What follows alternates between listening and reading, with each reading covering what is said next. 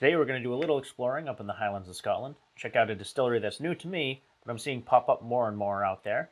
And we're also going to take a look at this relatively young whiskey and see if it can hang with the big boys or if it ends up drinking its age. So stick around and find out.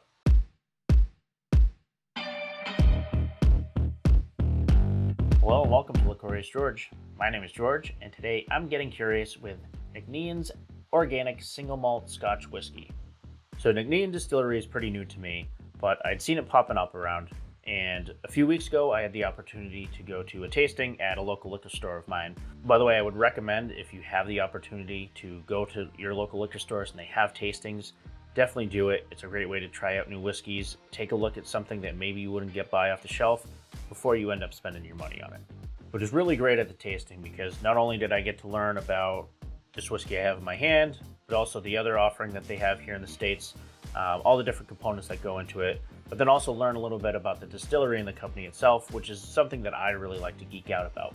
So learning about the distillery and the company itself was really cool because they really set themselves apart from anything that's out there right now. Firstly, they're 100% organic and local, so they source all of their grains from local organic farms, which is really cool because you know exactly where your things are coming from. Another big thing that sets them apart is they have a very big focus on sustainability and being a sustainable producer of spirits. So whether you know all the ins and outs of whiskey production or not, the folks over at Nc'nean, they're really focused on making sure they have the smallest impact possible, right down to running their entire distillery on renewable energy. So getting into the whiskey a little bit more, the distillery has only really been around since 2017, so they don't have stocks of whiskey that's been aging for years and years and years sitting around, so all of their releases are relatively young. This batch, KS17, uh, happens to be about four years old, uh, based on the stats that I found online. So their single malt comes to us at 46% ABV. It's 100% organic Scottish barley, as I mentioned, and it's also completely unpeated, as all of their whiskeys are. Now, what I find really interesting about the single malt is the cask makeup that they use to make this blend. So this particular batch is made up of 55% STR red wine casks, 43% ex-bourbon casks, and 2% Oloroso casks. What's really interesting is the STR casks because you don't see them used by many distilleries, let alone for the majority of the blend that they're putting together. So STR stands for shaved, toasted, and recharred. So what they're doing is they're taking these ex red wine barrels, they're bringing them in, they're shaving them down, they're toasting them, they're recharring them before they put the whiskey into it. So enough of me yapping about this. Let me pour a glass and let's get to actually tasting. So it's got some decent color on it. Given that it's only four years old, it's kind of surprising it has as much color as it does. That's probably because of the, the cask usage. If you give it a little spin around the glass, it takes a little bit for those legs to start coming down. So it's got a little bit of an oily, thick consistency to it. So the nose I'm getting is definitely really light and fresh.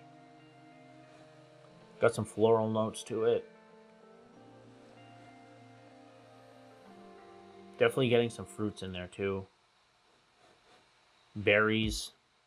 Getting some sweeter notes, like some honey, so maybe some honey drizzled over fruit. Yeah, it's a really nice, enjoyable nose.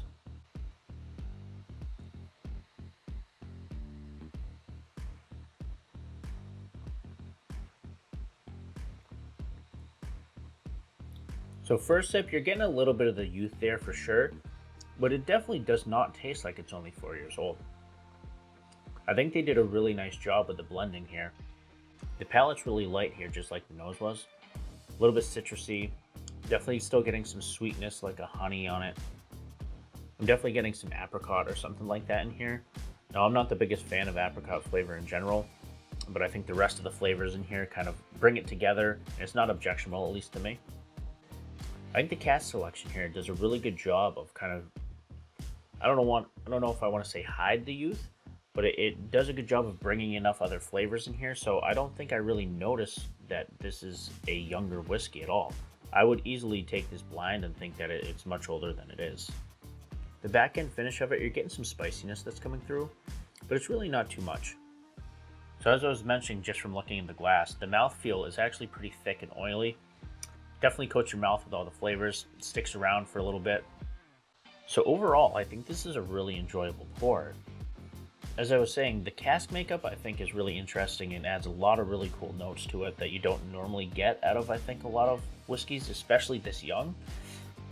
Um, I think it might do it good that it hides the youth a little bit because it really, you know, you could have told me this was six, seven, eight years old. I probably would have believed you um, because it definitely doesn't drink like a four year old, I don't think.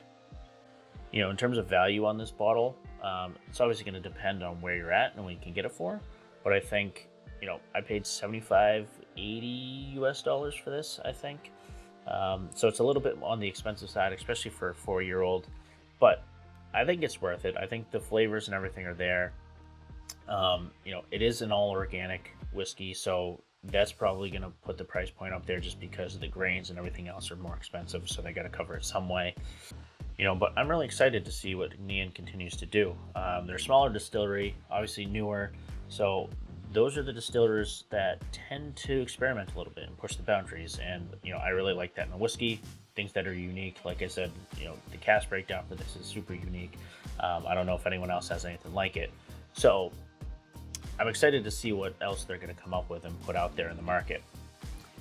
If you've had a chance to try this, let me know what you think. Until next time, everyone stay curious and cheers.